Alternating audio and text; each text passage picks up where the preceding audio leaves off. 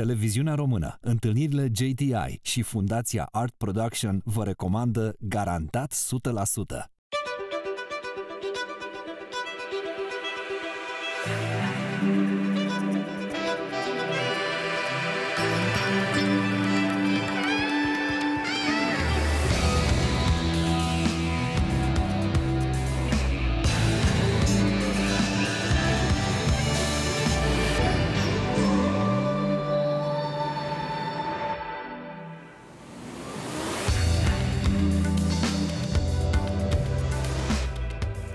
Salutare! Bine v-am regăsit la Garantat 100%.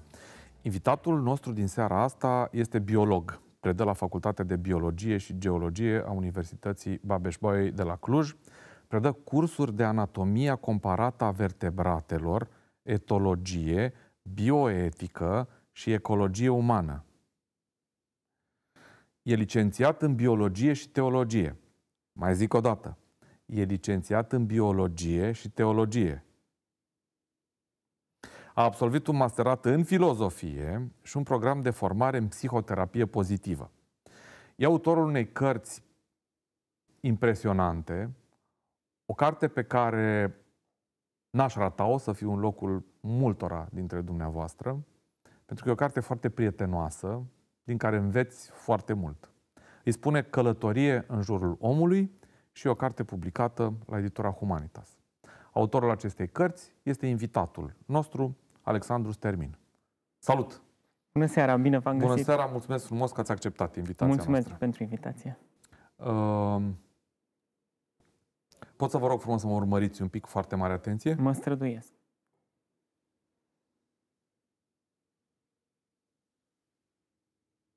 Încerc să provoc niște oxitocine. Faceți același lucru ca mine, să intrăm într-o comunicare. Credeți că în momentul ăsta, dacă ne imităm, după cum scrie și în cartea dumneavoastră, dacă secretăm mai multă oxitocină, agresivitatea ne scade și apare mai multă serotonină? Da, și deja m-am relaxat și mi-a crescut nivelul de încredere. Serios? Da, da, da. Bun. Să am Uh, grijă ce zic. bine ați venit la noi la program. Bine v-am găsit. Am învățat asta din cartea dumneavoastră. Uh, Sunteți cel care spune așa, dacă imităm gesturile celuilalt, într-un fel sau altul, se secretă mai multă oxitocină. Trebuie să ne explicați ce e cu asta. Ce e oxitocina? Oxitocina este o substanță care ajunsă în sistemul nostru nervos, în creierul nostru, începe să ne deschidă înspre celălalt. Dincolo de foarte multe lucruri pe care le face oxitocina, oxitocina este cea care a stat la baza creării unei societăți umane. Și nu doar la, la oameni, ci la foarte multe alte specii. Este cea care ne deschide înspre celălalt, ne face să avem încredere în el și oarecum ne dă capacitatea asta a noastră de a ne proiecta. Eu devin tu, tu devii eu. Ne simțim foarte conectați și ne crește empatia. Dacă mi-ar merge asta cu toți invitații, povestea asta de la foarte bun început, Dar trebuie să încercați. ar trebui să încerc chestia asta, că s-ar putea să meargă. Asta înseamnă că apare și mai multă serotonină în ecuație. Apare și mai multă serotonină. Ce e aia? Serotonina este o substanță ca și oxitocina, însă serotonina are capacitatea de a inhiba alți neuroni. Asta înseamnă că ne inhibă alți neuroni care ar putea să ne streseze și să ne pună în gardă pentru tot felul de lucruri. Și atunci, cumva, aduce așa la tăcere neuronii care ne creează nou stres. Este un anxiolitic. Distruge anxietatea, o, o, o dizolvă. Câți ani aveți? 36. scrieți niște lucruri foarte serioase, predați niște cursuri foarte serioase, sunteți un tânăr universitar extrem de articulat, um, știți o sumedenie de lucruri, ați studiat mult, vă ia lumea în serios? Câteodată da, câteodată nu. Vă deranjează când lumea nu vă ia în serios? Nu pot să spun că nu mă deranjează. Și mă deranjează, dar în același timp încerc eu să mă iau pe mine în serios. Și dacă eu mă iau pe mine în serios și îmi văd de treabă, restul... Mhm. Pentru că la noi există povestea asta. Vezi, domnule, de treabă, ești tânăr, lasă tu poveștile astea serioase. Aici scrie despre lucruri serioase, viață, moarte, ce cu viața pe lumea asta, ce face ca mecanismul acestei vieți să se rostogolească mai departe. De asta trebuie să ocupe oameni în toată firea care au experiență. Nu un tânăr de 30 ceva de ani și ce faceți în situațiile astea? Păi aici vine știința care mă ajută să înțeleg faptul că acum 200 de ani, 300 de ani, Da. cineva care ajungea la 36 de ani era cu un pas înaintea morții. Exact. Și atunci eu deja dintr-o perspectivă din asta relativizată cumva, sunt un adult în toată firea și ar trebui să fac ceva pentru tribul meu. Eram la vârsta la care trebuia să lași ceva în urmă. Și asta mă încurajează. Perspectiva asta de fiecare dată, eu asta cred, cultura ne face liberi. Ne face liberi de, de toate constrângerile din jurul nostru. Și atunci ai de fiecare dată un as în mânecă și te ajută să-l scoți ca să mergi înainte să-ți vezi de treaba ta. Ce v-a venit de ați studiat? Bănuiesc, nu bănuiesc, sigur toată lumea vă întreabă lucrul ăsta. Și biologie și teologie. Într-un fel sau altul, atunci când te uiți foarte simplist la lucrurile astea, spui că se opun. Uh, Teoretic, unii studiază evoluționismul, alții studiază creaționismul. Dumneavoastră le-ați făcut pe amândouă. Ce v-a mânat în chestia asta? Întrebările, evident. Um, Eu cred că noi facem facultăți și școli ca să ajungem să împlinim o meserie. Însă, dacă stăm să ne uităm în spatele lucrurilor pe care le facem și a meserilor pe care le avem, cred că fiecare încearcă în sinea lui să-și împlinească o vocație. Mhm. Și fără să-mi dau seama, asta am înțeles oarecum de curând, cred că vocația mea este cea de căutător. Am făcut un experiment cu vrăbii pentru cursul de etologie. Da. Și cu o studentă de-a mea am prins dintr-o hală industrială niște vrăbi, vreo 60, pe care le-am pus într-un aviar. Și acolo am pus niște cutii, trei cutii. Ce e la aviar? O cușcă enormă în care stau păsările, o volieră. O volieră. O volieră. Și am pus trei cutii, pe fiecare cutie era un model diferit. Pe o cutie erau buline, pe una erau linii și pe una erau pătrate. Am făcut o gaură mică în, cu- în fiecare cutie Da. și am pus un receptor care numără câte vrăbi intră în cutia asta. Și am pus mâncare în fiecare cutie, dar în două cutii am acoperit mâncarea cu sticlă. Mhm. Deci ele trebuiau să intre în fiecare cutie să vadă unde e mâncarea, dar puteau să mănânce dintr-o singură cutie. Și am pus toate astea 60 de vrăbi și am așteptat să vedem ce se întâmplă. Din toate cele 60 de vrăbi, au fost 5 care au început să caute și au intrat în cutie și au văzut în care din cutie este mâncare. Deci Celele- 5 din 60 Da, au intrat în cutie. da, Mhm. au avut curajul ăsta. Ele sunt cele care caută. De ce n-au intrat toate? Pentru că dacă ar fi intrat toate și într-o cutie era un prădător, mureau toate. Cele cinci și-au asumat cumva riscul de a căuta și a vedea ce se întâmplă. Au supraviețuit și au ieșit afară, le-au dat de veste celorlalte și atunci au intrat în cutia în care era mâncare și s-au simțit în A, siguranță. deci au dat și de veste. Au dat și, da, există, asta studiam, să vedem dacă există un schimb uh, cultural între, între vrăbile astea. Pentru că după asta am scos jumătate din vrăbi afară și am adus alte, noi, să vedem dacă învață mai repede. Și au învățat mult mai repede. Deci ele cumva comunică. Evident comunică. Și Să explicăm ce înseamnă etologie în două cuvinte, pentru că ați spus că e un experiment care ține de etologie. Ce e etologia? Etologia este o știință care studiază comportamentul animalelor. Și există și etologia umană care studiază comportamentul nostru în raport cu comportamentul altor specii. Domnule Stermin, ce e din perspectiva biologului? Uh, sunt, cum să vă zic, sunteți și biolog și teolog? Nu. Nu. Eu sunt biolog. Sunteți biolog, dar ați studiat Am teologie studiat și teologia, și filozofie da. da. și uh, psihoterapie pozitivă. Da. Dar psihoterapia poate să fie și negativă. Nu există mai multe tipuri de psihoterapie și ăsta este un tip de psihoterapie pozitivă pentru că um, lucrează pe niște resurse pe care avem, pe capacitățile noastre pozitive, care de fapt nu sunt capacități pozitive, sunt niște capacități pe care le folosim într-un fel pozitiv pentru dezvoltarea noastră. Ce e din perspectiva biologului magia despre care vorbiți în cartea asta minunată, Călătorie în jurul omului? Foarte bună întrebare. Ă, este, este, cred, felul în care mintea trece dincolo de niște limite pe care noi le putem înțelege. Și transmite această stare de depășire a limitelor corpului. Este ceva ce mai mult simți și intuiești, dar nu poți să înțelegi și să pui într-o formă logică. Există? Din perspectiva biologului, există? Magia este o existență pe care o putem proba? Depinde ce înseamnă existența. Mhm. Trebuie să ne gândim că acest creier al nostru care percepe realitatea stă închis în craniu și întuneric. Nu vede, nu aude, nu simte nimic. ce drept? Și atunci percepe realitatea pe seama unor stimuli pe care îi primește de la ochi, de la urechi, de la degete. Și el acolo, în mintea lui, o creează. Dacă ar fi aici lângă mine o căpușă, ea n-ar vedea nimic din ce văd- vedem noi, n-ar auzi nimic din ce auzim noi, ci ar vedea totul în galben, roșu și albastru, în funcție de căldură. Suntem și eu și căpușa în același mediu și avem o realitate total diferită. Și atunci, magia este, cred, ceva ce face parte dintr-o realitate pe care noi nu o putem înțelege și o percepem, dar o percepem în, în, ca, în capul nostru, în sinea noastră. Ați experimentat magie pe proprie piele? În carte povestesc despre momentul De-aia vă ăsta întreb.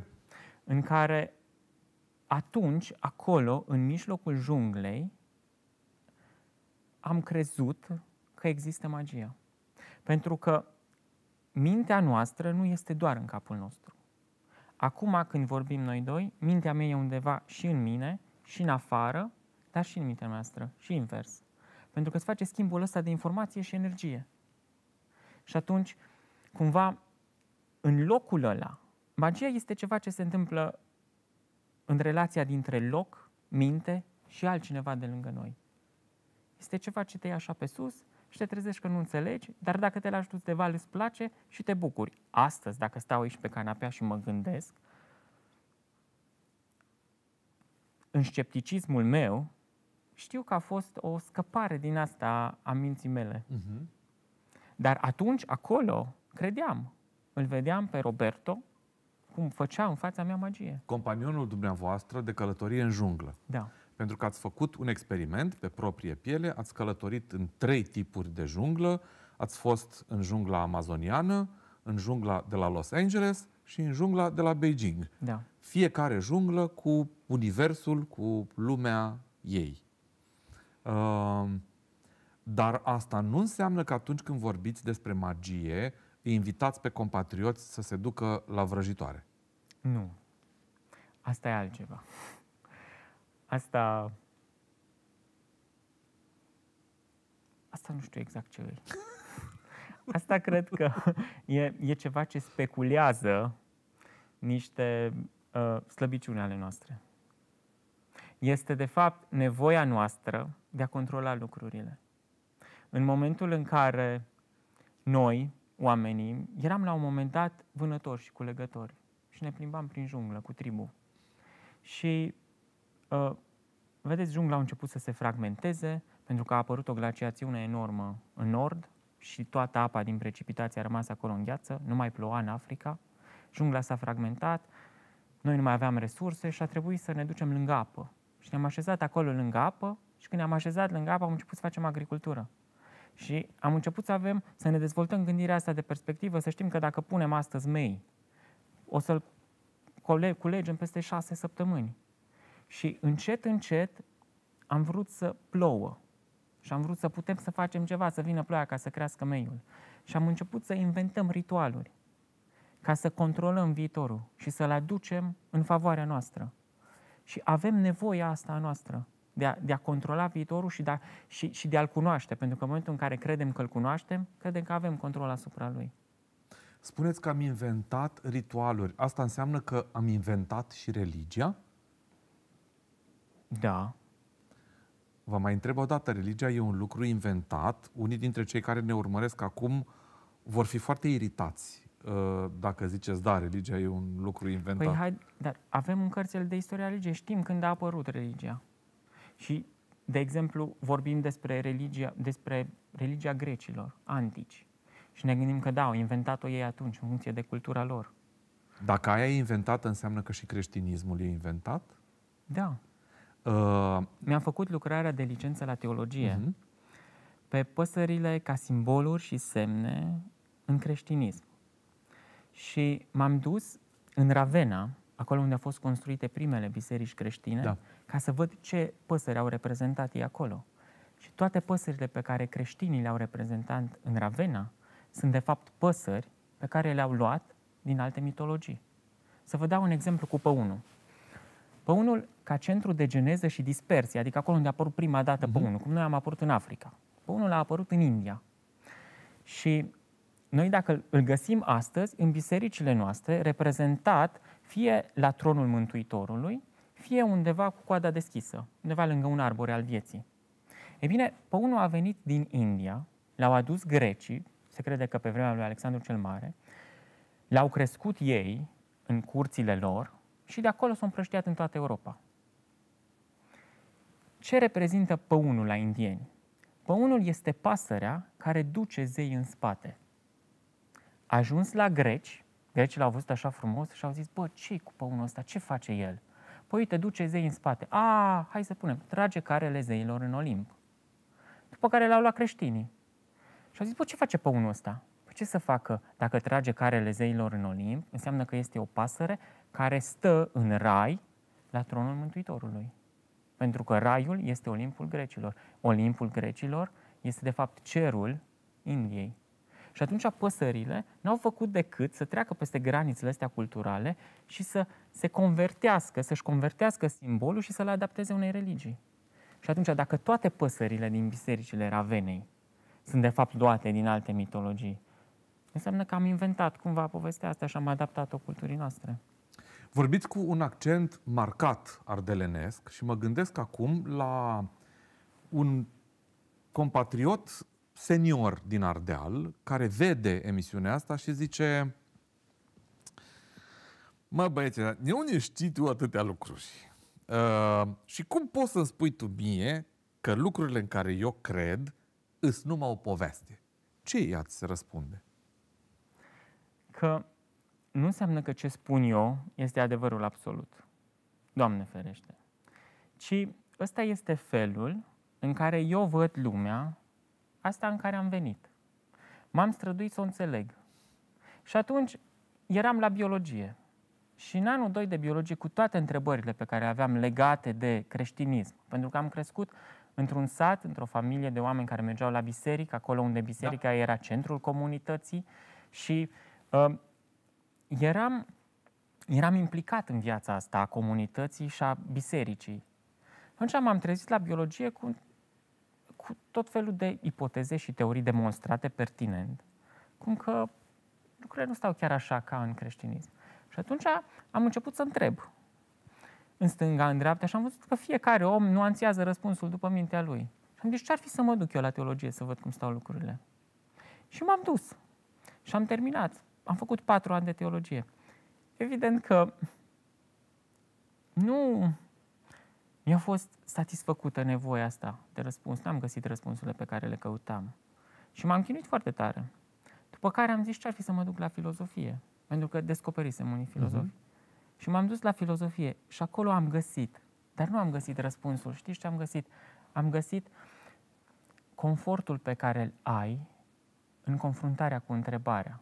Dar mi-am în dat- biologie ați găsit răspunsul? Legat de evoluție? Da.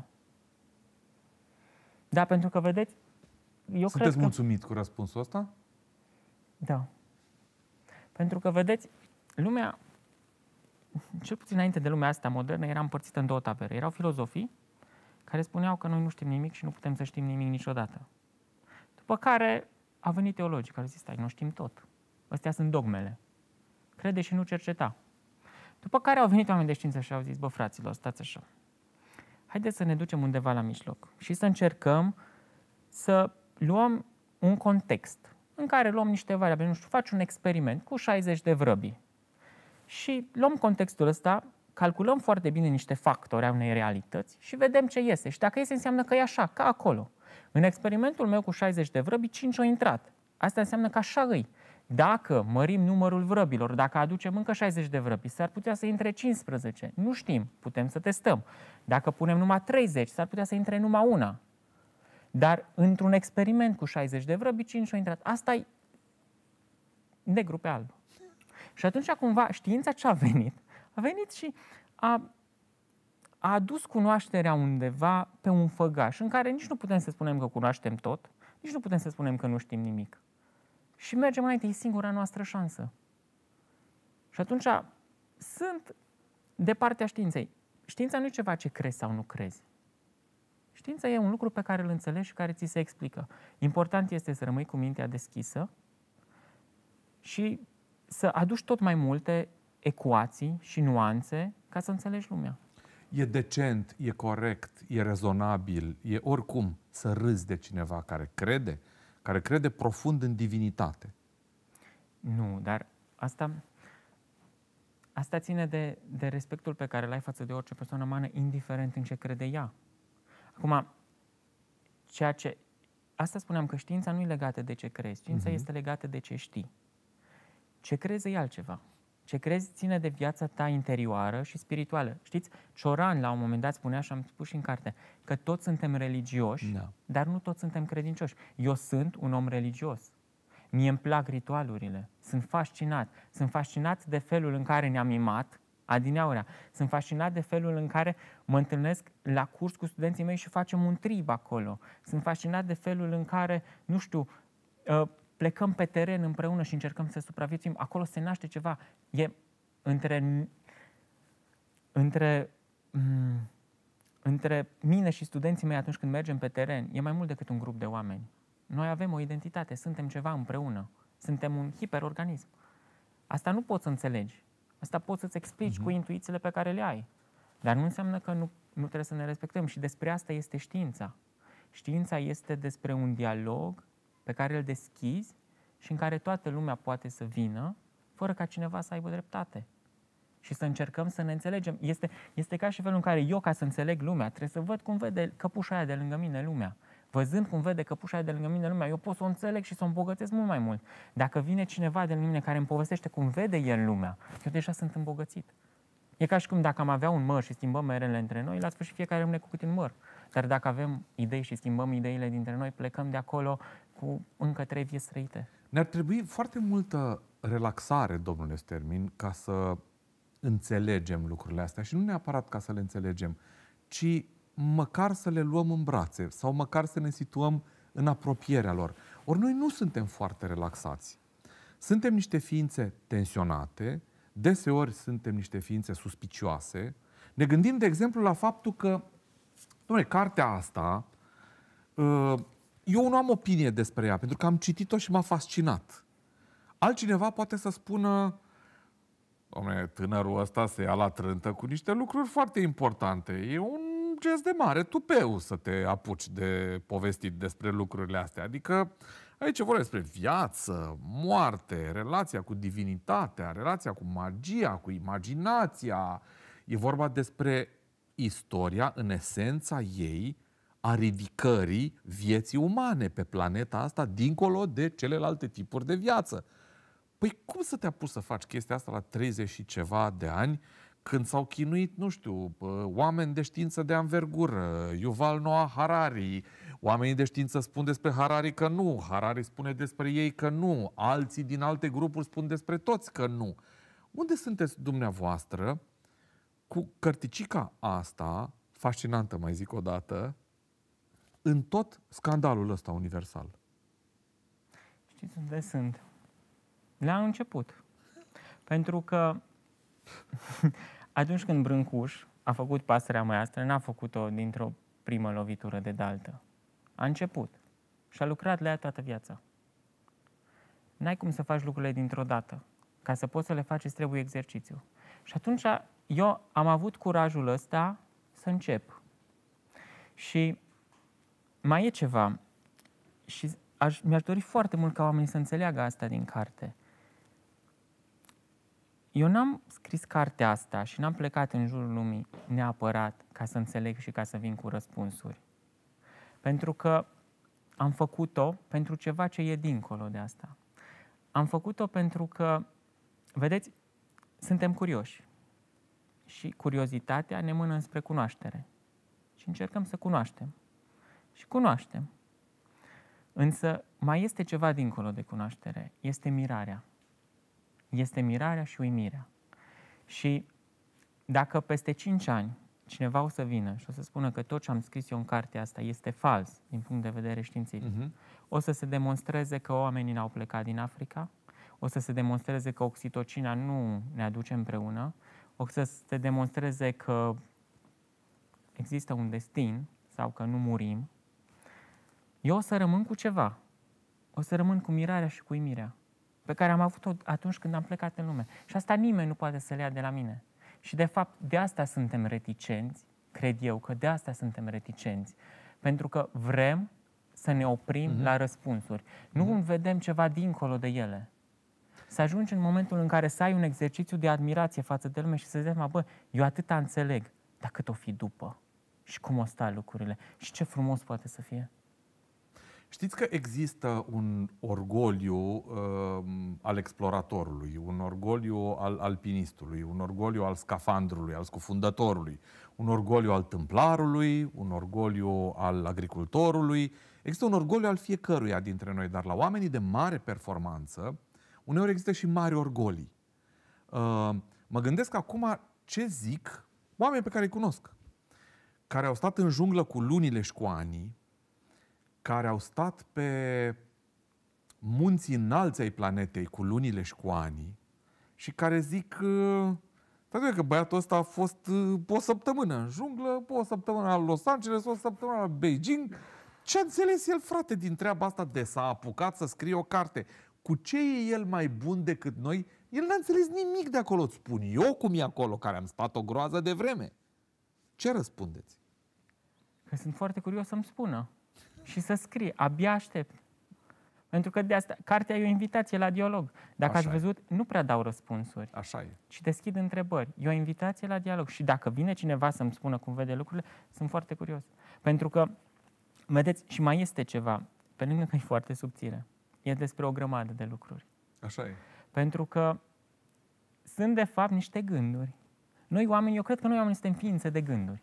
Unele gânduri vin pac, dintr-o dată. Ne este frică de ele, cum este gândul legat de moarte, gândul legat de destin, că trebuie să faci ceva în viață, să rămână pe tine. Și asta te sperie și le faci să treacă. Altele vin și ne plac, ne seduc, dar nu știm să le însoțim. Nu știm să mergem lângă gândul ăla. Atunci, de fapt, eu ce am făcut? Eu aici pomenesc o groază de minți luminate, de la care am învățat să însoțesc un gând. Așa legat de moarte, legat de destin, legat de religie. Și atunci eu am învățat de la ei. Și n-am făcut decât să vin acasă și să mă pun și să las gândurile să vină. A, despre iubire, ia să scriu. Despre ce cred eu? Și însoțesc gândul ăla. Ajunge L-am însoțit în acolo. Da? Și asta, asta am făcut. Am, sunt, nu, nu am, n-am încercat să dau răspuns, ci am încercat să însoțesc niște gânduri care mi-au venit și pe care am, le-am dus cât de departe am putut eu, dar nu până la final. Domnule Stermin, ce e imaginația? Din ce perspectivă? Din perspectiva biologului. Din perspectiva biologului, imaginația cred că este capacitatea noastră de a crea scenarii um, coerente, legate logic, pe seama unor experiențe și imagini pe care deja le avem. Noi, în toată viața noastră, facem lucruri. Și făcând lucruri, ele se acumulează undeva. E ca și cum am citit cartea asta, mai citesc încă o carte, încă o carte. Ele ajung în creierul meu, dar nu așa legate, ci rupte și amestecate. După care vine o parte a creierului meu care are capacitatea de a lega niște lucruri logic. Și le ia de acolo și încercă să le lege. Asta este un scenariu. Este, cred că povestești în carte. E ca și cum ne trezim dimineața și încercăm să explicăm un, un vis. Noi când îl explicăm, îl explicăm coerent, chiar dacă el în capul nostru au fost doar așa câteva imagini. Și în timp ce îl explicăm coerent, credem în el, dar noi știm că am făcut niște legături atunci când îl explicam. Știm? Simțim. Dacă suntem atenți la ce facem, simțim. Simțim că am pus de la noi un pic din poveste. Dar Ca uneori totul suntem să- foarte convinși de ceea ce spunem, deseori. Evident, păi, dar noi îl creăm atunci. Și asta este imaginația. Este, ia ceva din noi, leagă într-un alt fel și pune mai departe. Și atunci ce e imaginația din punctul de vedere al omului care a studiat teologie, dacă vă plasați în perspectiva unui credincios? Din perspectiva unui credincios, cred că e bine să facem diferența între imaginație și imaginal. Imaginația este ceea ce creăm noi cu mintea noastră, nu există, dar îl creăm, și imaginalul este ceea ce noi vedem, chiar dacă nu există. Este un înger pe care îl vedem. El nu există, dar noi cumva îl vedem, nu, nu e materializat este ca reflexia noastră în oglindă. Noi o vedem, dar știm că nu îi. E Și asta- periculoasă imaginația pentru un credincios? Uh, Ca orice lucru, depinde de doza în care îl practici. Și depinde cum îl interpretezi. Pentru că dacă te folosești de imaginație ca să îți creezi niște credințe și niște valori, atunci s-ar putea să fie periculos sau nu. Ce e etica, domnule Stermin? Iar, din perspectiva biologului. Din perspectiva biologului, cred că etica este o seamă de valori, principii, norme pe care noi le-am tot construit și ne le-am tot șlefuit La ce ne trebuie? să putem coexista, să putem sta împreună. Nu e doar un bla bla, un la la la, pentru că mulți așa ar spune. Asta cu etica, am mai auzit cuvântul ăsta și cu niște ani în urmă, l-am auzit în preajma cuvântului echitate, uh, nu sună bine și oricum nu există așa ceva. Astea sunt bla blauri. Uh, oamenii sunt niște ființe care trebuie să supraviețuiască și deseori supraviețuim pe nefericirea celuilalt și trebuie să ai duritatea de a spune lucrul ăsta, că așa ești bărbat și așa ființezi în lumea asta. Am încheiat un posibil citat. S-ar putea să fie așa. Însă, de ce avem atunci nevoia de a pune întrebări pe seama eticii? Înseamnă că undeva în noi există un spațiu în care rezonează etica. Și atunci întrebăm, există sau nu există? Dar odată ce ai pus întrebarea, înseamnă că este ceva în noi legat de etică. Etica, știți cum e? e? E un concept, nu există, nu poți să pui mâna pe el. Și dacă e un concept, atunci e diferit. Are capacitatea asta de a fi heterogen, e, e diferit în timp. Adică, imaginați-vă că la un moment dat creștini ce spuneau? Ochi pentru ochi, dinte pentru dinte. După care a venit Isus, care a zis, uh, nu, întoarceți celălalt obraz. Asta înseamnă că s-a schimbat în timp. Tot de etică ține, dar s-a schimbat o normă. Și în același timp ea este diferită și în spațiu. În timp ce noi vorbim aici avem o etică și un trib din Papua Noua Guinea are altă etică. Pentru că etica ce Etica este de fapt felul în care noi încercăm să stăm împreună într-un mediu care se schimbă constant, într-o societate care se schimbă constant, într-o lume care se schimbă constant. Atunci nu facem decât să cre- E ca și prietenia. Acum 200 de ani prietenia era altceva decât e acum. Sigur. Exact așa și etica. Ea ne ajută să stăm împreună și fără să vrem, fără să știm, se distilează niște norme și niște valori, în care unii cred mai mult, alții mai puțin. Și atunci se distilează etica. E, e ceva, e ceva ce, vedeți, este ceva ce ne ține împreună exact așa cum este ceva ce ține copaci dintr-o pădure împreună. Relația dintre copaci, ca ei să poată sta împreună, acolo este ceva. Exact aia, așa e și între noi oamenii etica. Ce e etica din punctul de vedere al filozofiei atunci? E altceva decât ceea ce ați relatat până acum? Nu seamănă foarte mult. Uh-huh. Dar din punct de vedere al teologiei, etica este ceva ce vine de la demiurg. Și atunci este ceva ce oamenii își însușesc fără să judece. Și asta o face periculoasă. Pentru că dacă ne gândim în Vechiul Testament, au primit ordin să se ducă și să nenorocească cetăți și să ucidă femei și prunci, pentru că așa le-a spus demiurgul. Și au văzut-o ca pe o chestie etică. Au văzut-o pentru că a venit de sus. Nu au stat să o analizeze. În schimb, dacă noi, din perspectiva biologică, încercăm să ne facem responsabili de etica noastră, atunci calculăm de două ori un act. Dar suntem capabili și la ora asta să facem fapte identice celor din Vechiul Testament. Evident că, din păcate, da. Domnule Stermin, de ce credeți că n-am învățat nimic din lucrurile astea? Adică ați făcut un experiment, ați relatat un experiment foarte frumos. Cu toate astea, oamenii conțin în ei multă cruzime. Dumneavoastră vorbiți foarte frumos despre oameni în cartea asta. Vorbiți despre oameni, despre natură, despre ce înseamnă întoarcerea în natură. Poate că sună ca un exces de discurs super băgat la malaxor în zilele astea, căruia îi spunem de multe ori foarte greșit, ecologist. Ăștia sunt ecologiștii care vorbesc ei despre lucruri. Nu ne dăm seama că oamenii ăia încearcă să ne transmită ceva. Asta faceți și dumneavoastră. Încercați să vorbiți despre valori, despre lucruri frumoase, dar oamenii conțin și foarte multă cruzime. De ce a rămas în lăuntrul nostru atât de multă cruzime? Știți de ce? Pentru că în experimentul ăsta cu vrăbile, eu am mai făcut ceva.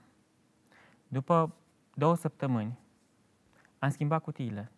Înainte, mâncarea era în cutia cu buline. Și am luat sticla din cutia cu pătrate și am pus-o în cutia cu buline. Și atunci mâncarea acum era accesibilă doar în cutia cu pătrate. Și dacă la început le-au luat trei zile la vrăbii să învețe că mâncarea este în cutia să aia, se prindă, să, să, înțeleagă. se prindă, să înțeleagă la început, da? După ce am schimbat ceva ce ele deja au învățat, le-au luat șase zile. Este foarte greu să schimbăm ceva ce deja am învățat. Și trebuie foarte multă răbdare din ambele părți. Acest discurs trebuie repetat cu calm și cu drag de 100 de ori. Pentru că dacă cineva în lumea asta crede în niște valori, e dreptul lui și poate să le împărtășească cu ceilalți doar cu răgaz. Și atunci eu cred că noi venim cumva dintr-un trecut din ăsta în care am trăit cruzimea și am experimentat-o. Și e foarte greu să ne schimbăm mintea. Și mai e ceva.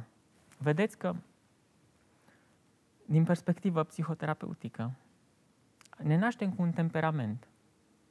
Este cel care ne face să luăm atitudine, fără să gândim. Ne naștem cu el sau îl dobândim? Temperamentul ne naștem cu el. Okay. După care vine lumea din jur, care ne spune despre valori, despre niște valori pe care n-ai cum să le atingi. Niciodată nu o să fii bun, absolut. Niciodată nu o să iubești, absolut. Niciodată. Dar sunt niște valori.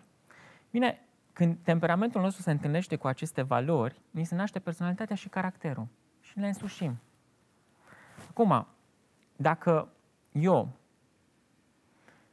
toată viața mea am fost agresiv, mi-a venit din temperament, înseamnă că eu n-am lucrat deloc cu mine, eu n-am făcut nimic pentru mine, ca să-mi, să-mi nuanțez temperamentul ăsta. Deci toată viața am fost agresiv și ăsta am fost eu. N-am niciun merit și nicio vină. Însă în momentul în care eu spun, uite, am învățat că e bine să-l asculți pe celălalt, să fii deschis și să încerci să-l tolerezi. Și în 10 situații am făcut asta de 8 ori, chiar dacă în două mi-am pierdut cumpătul, asta înseamnă că deja temperamentul meu a fost nuanțat de niște valori și e meritul meu. Deci, prin faptul că suntem răi și agresivi, asta ne face cumva, suntem exact așa cum ne-am născut. În momentul în care începem să fim mai buni cu celălalt, ăsta e meritul nostru. Și deja am făcut ceva cu noi. Și numai așa, făcând ceva cu noi, putem să schimbăm lumea. Deci ne naștem cu cruzimea, nu o dobândim pe parcurs. Ea nu ne vine din condițiile în care trăim, din ceea ce vedem, din ceea ce... E ceva cu care ne naștem? Uh, da, ține de temperamentul nostru. Mm-hmm. Da. E ca în împăratul muștelor. Deci ne, ne naștem cu ea și atunci ar trebui, ar trebui educată. Evident că unii, că sunt mai multe tipuri de temperament, unii sunt mai vulcanici, sunt mai agresivi, pe când alții sunt mai retrași. Și atunci cei care sunt mai retrași și mai introverți trebuie să fie cultivați ca să aibă curaj să vină în lume. Există un personaj în Împăratul Muștelor care oprește constant evoluția spre rău al lucrurilor. Da. Și e un copil ca ceilalți copii. Deci, asta spuneam, că ne, ne naștem cu cruzimea. cu cruzimea, dar sunt în același timp și alții care nu se nasc așa, că sunt mai multe tipuri de temperament. Ce e iubirea din perspectiva unui biolog?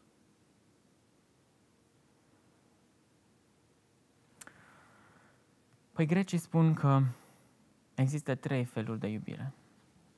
Erosul, filia și agapele.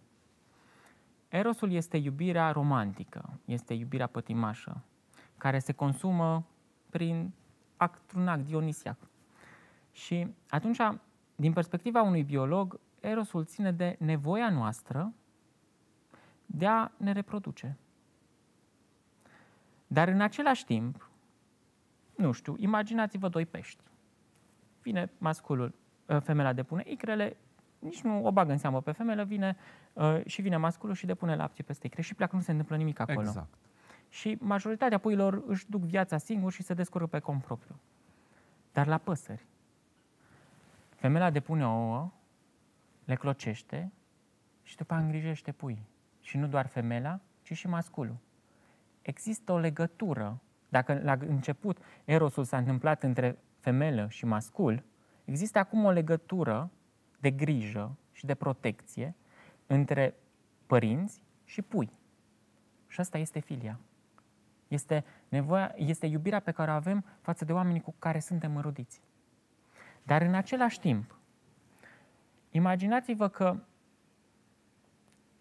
maimuțele vin niște animale care aveau un craniu ca de câine. Asta înseamnă că aveau ochii în lateral și nu vedeau foarte bine crengile pe care trebuia să sară. Pentru ca să vezi bine creanga pe care sari, trebuie să ai un câmp binocular, să vezi de același punct cu ambii ochi, să poți calcula exact punctul. Și atunci, în timpul evoluției, dacă ne uităm la evoluția craniului la maimuțe, o să vedem că ochii au venit tot mai în față, tot mai în față, tot mai în față. Venind ochii tot mai în față, noi avem un câmp binocular perfect. Putem să calculăm la milimetru distanța până la creangă. Dar ce s-a întâmplat? Nu mai vedem în jur. Și din jur pot să vină prădătorii. Și atunci, cum am compensat asta? Am adus alți indivizi în fața noastră și stăm în grup și avem mai mulți ochi. Și s-a creat o comunitate. Și asta este agapele. Și atunci, în evoluția animalelor, avem erosul, filia și agapele. Și toate împreună construiesc în noi această stare de iubire.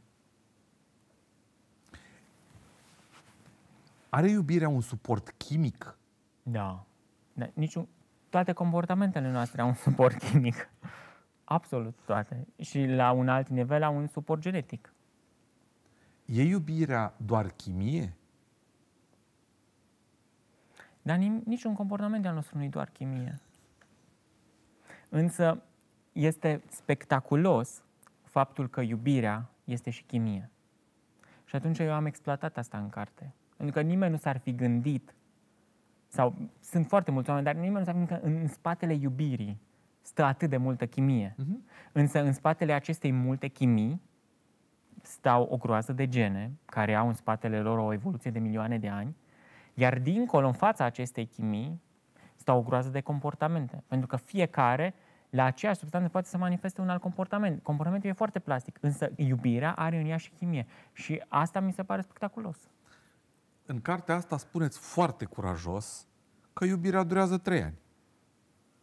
Da. În cartea asta am încercat să explic ipoteza asta, conform căreia iubire durează trei ani. Durează trei ani? Păi la un moment dat spun că în unele situații nu.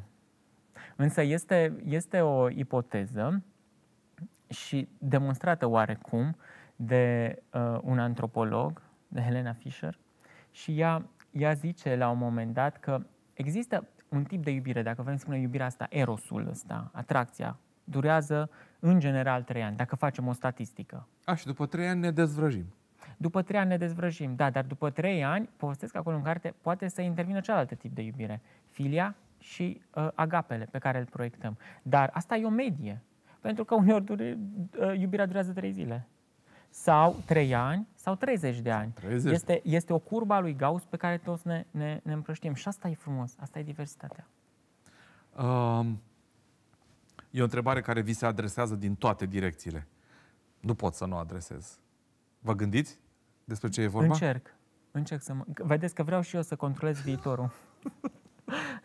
Suntem monogami sau poligami? Uh, eu cred că la întrebarea asta, răspunsul ar fi de ce ne întrebăm? De ce ne întrebăm dacă suntem monogami sau poligami? Pentru că în jurul nostru sunt oameni monogami și poligami.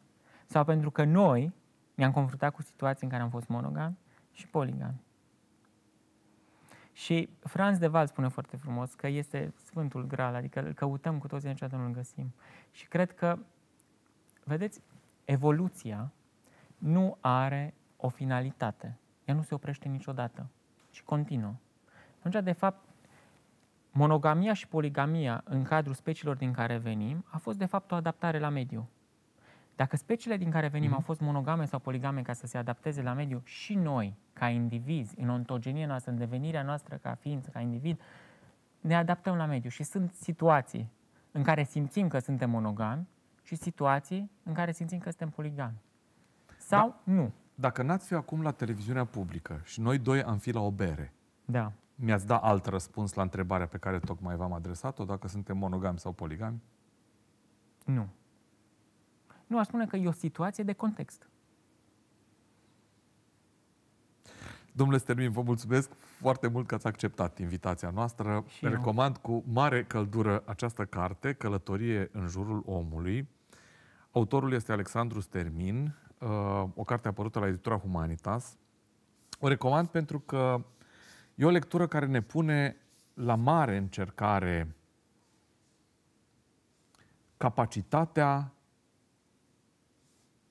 de a nu fi proști. Spun foarte direct lucrul ăsta, pentru că deseori respingem lucruri fără să fie aruncat o privire asupra lor, respingem cărți fără să le fi deschis. Cartea asta merită șansa de a fi deschisă și mai departe e în funcție de fiecare dintre noi. Mulțumesc foarte frumos că ați acceptat mult. invitația asta și spor în ce faceți. Mulțumesc tuturor celor care sunt alături de garantat 100%. Mulțumim frumos pentru încredere. Ne vedem duminica viitoare. Noapte bună!